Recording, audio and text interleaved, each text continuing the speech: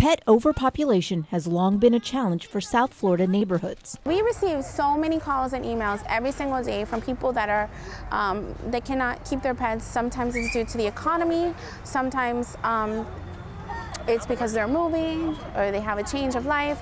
Um, and there are so many stray animals that we come across every single day. People bring strays to county shelters, but because of overcrowding, many animals don't survive their stay. About 30,000 animals are killed in Dade County alone every year and many more are dumped. That's why organizations like the Homeless Pet Advocates work so hard to save the lives of dogs and cats in Miami Dade and Broward counties. Without our organization, Responsible Rescues, so many more dogs would would be put to death needlessly because so many healthy adoptable dogs are available. Today, the group teamed up with Compass Financial Federal Credit Union, the Pet Stop, and Neighbors for Neighbors for a pet extravaganza. We can save so many more lives if we could just get some dogs into foster homes.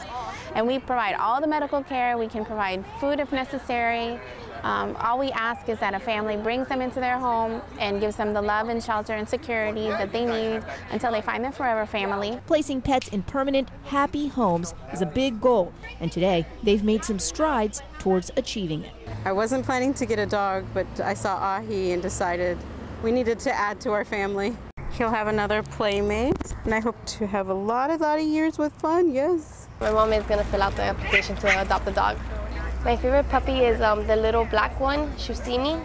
But adoptions aren't the only way to help homeless pets. Supplies are needed too. We have locations in South throughout South Florida to pick up or drop off that we can accept food, leashes, collars, bowls. So whether you're looking to add a four-legged friend to your family or just help another, a little bit goes a long way.